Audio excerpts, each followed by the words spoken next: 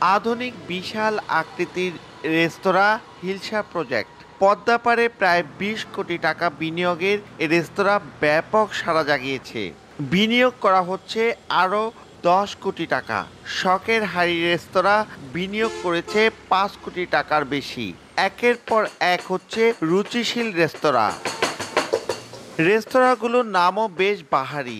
রূপসী বাংলা, রূপালী ইলিশ ইলিশ ভোজ, কুটুমবাড়ি, শখের ইলিশ ইলিশ আড্ডা সহ বেশিরভাগ রেস্তোরাঁর নামের সঙ্গে আছে ইলিশ।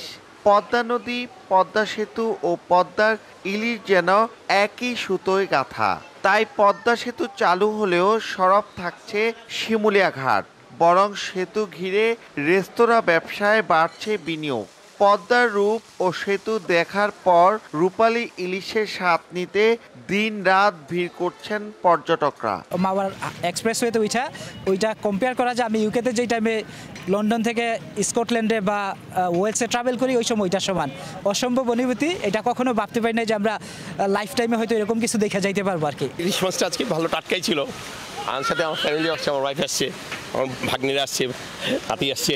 তারপর এখান থেকে পদ্মা সেতু দেখা যাচ্ছে দেখা খুব ভালো লাগে যারা পর্যটক আছে তাদেরকে আমরা আহ্বান করব এখানে নিরাপদে আসবেন খাবেন এবং বিশেষ করে আমাদের ইলিশ মাছ যে পদ্মার ইলিশ এই স্বাদ আপনারা গ্রহণ করবেন। এখানে ট্যুরিস্ট আরও বাড়বে আরও বাড়বে আমাদের বেচা কিনা আরও বেশি হবে।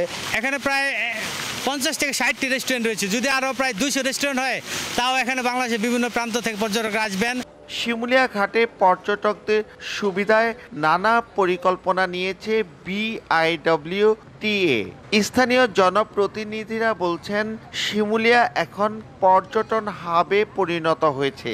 সেতু চালু হলে পর্যটকদের ঢল আরও বাড়বে। দ্রুতই ইনশাল্লাহ যেভাবে চলছে যদি জননেত্রী শেখ হাসিনা এই দেশকে চালাতে পারে তাহলে দ্রুতই এই দেশ উন্নত দেশ হিসেবে নিজেকে প্রকাশ করতে পারবে।